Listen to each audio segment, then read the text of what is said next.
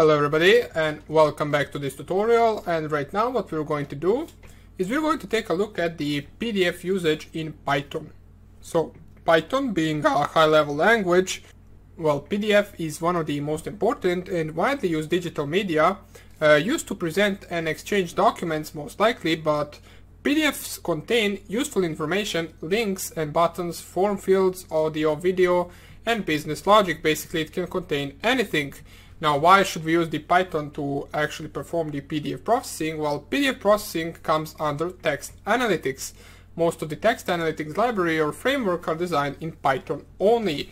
This gives leverage on text analytics and, and once you extract the useful information from PDF, you can easily use the data into any machine learning or natural language processing module. Okay, so common Python libraries that basically Uh, are used to handle PDF files. We have PDF Miner, it is tool for extracting information from PDF documents. We have Py2PD or PyPDF2. It is a pure Python PDF library capable of splitting, merging together, cropping and transforming the pages of PDF files. It can also add custom data viewing options and passwords to PDF files. Uh, it can retrieve text and metadata from PDFs as well as merge entire files together. We have also some tabula-py, slate, PDF query and HPDF. Now of course we are not going to take a look at all of them. What we are going to take a look at is the uh, PyPDF2 library. Now if you open up your idle and simply just type here uh, import PyPDF2, you will see that you will get an error, no module named PyPDF2. That is because this doesn't come pre-installed in actual Python 3. Therefore, we need to open up our command prompt, navigate to our actual Python uh, scripts uh, directory, uh, programs, cd python, cd python 37, then cd scripts, and there we will just type pip install py PDF2.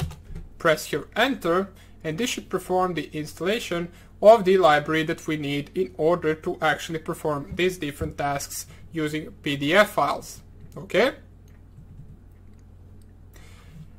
So let us see right here, successfully installed PyPDF2, okay. We can close this right now and we can reopen our actual uh, terminal, or pardon me, not terminal, idle. Now let us go right here. Let us go to our Google Chrome.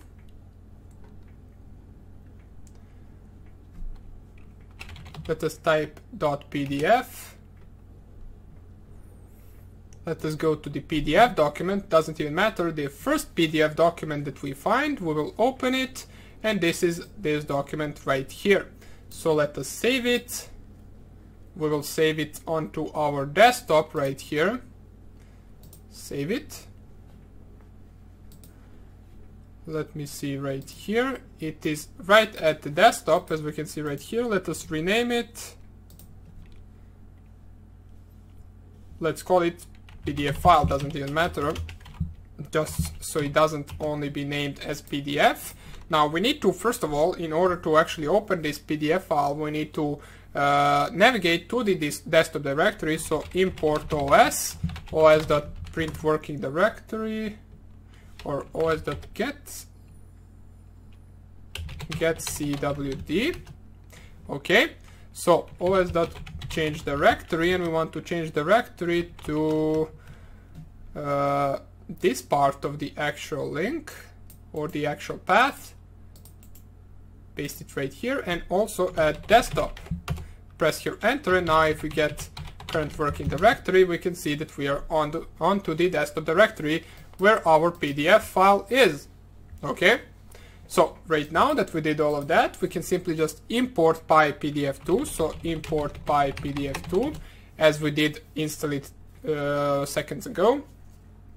Now uh, find any PDF file object and open it as a regular file. So PDF file object is going to be equal to open and in between the brackets we'll simply specify PDF file. Let me just see whether I have two F's or one. Okay, so one F, let us just remove this one, PDF file. uh, dot pdf and then comma read bytes. Press your enter, we open the file and now we want to create the PDF reader object. In order to do that we can simply just type here PDF reader equals PyPDF2 dot and now we're going to use PDF file reader onto our PDF file object, which is basically just our file being opened for reading bytes. So right here, specify PDF file object. Press here enter and simply you created your PDF reader. Now let's say you want to get the number of pages in PDF file that you opened, you can simply just type here print PDF reader dot num pages. Press here enter and you will see it retrieves an integer number of 5 which means there are 5 pages onto this PDF file. So let us open it. Let's see whether our Python is correct and whether there really is 5 pages there. We can see page 1, 2, 3, 4 and 5.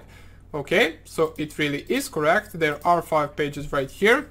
And right now, uh, if you want to, for example, get a page object in order to edit or in order to ch check something in uh, on a certain page, you can simply just do it by specifying a page object. Let's type it right this page object equals pdf reader dot get page which is a function that will get the page specified in the brackets and we want to page 0 which is going to be the first page okay and now if we, if we want to for example extract the extract the text from the page, uh, which will print the text, you can also save that into a string if you want to now. In order to just print it, you can simply just type print and then page object dot extract text.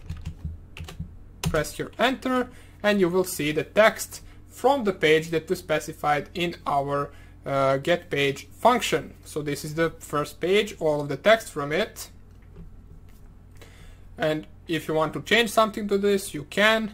And now let us take a look at the reading the table data from PDF.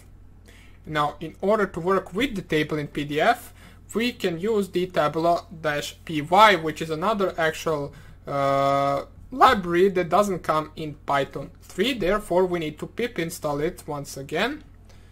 Let me just lower this. I will open up my command prompt.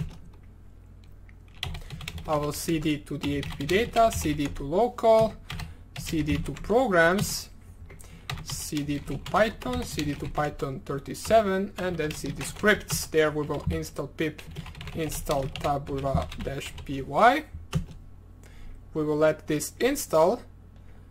It will collect the library itself. As we can see, it is a little bit larger library than the actual P uh, PyPDF2.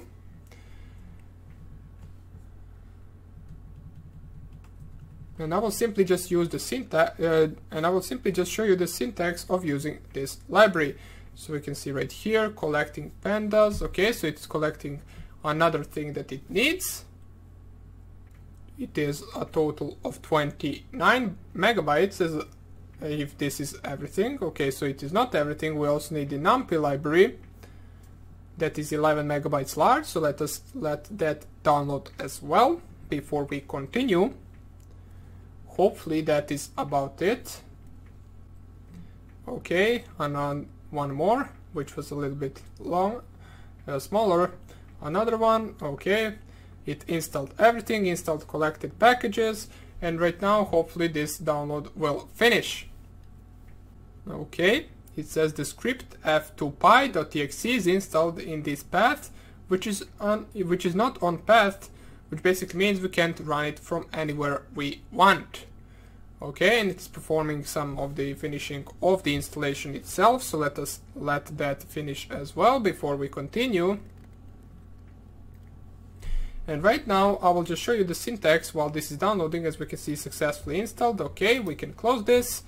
And right now, in order to actually import this library, you need to type here import tabula. Press here enter it will import the tabula library and you can read the table data. You can use something like this, so df equals tabula.read underscore pdf and then you simply just, whoops, pdf and in between the brackets you will need to specify the name of the file that you want to read from. Let us just see right here. Java command is not found from this pipeline. So java is installed and path is set for java. Okay so looks like this library actually requires java for some reason. Therefore we will skip it because it is not really that important. You can just use py to pdf i just wanted to show you an actual different option that you can use uh, in order to handle pdf files but doesn't even matter we'll just leave it on that what we saw right here is how we can open the pdf file how we can read the pdf file get number of pages uh, extract text from pages of course there are other functions as well make sure to check them out on the internet you can just simply just type PyPDF2 and see what available functions are there for that library. And hope you enjoyed this tutorial. And I hope I will see you in the next one. Bye!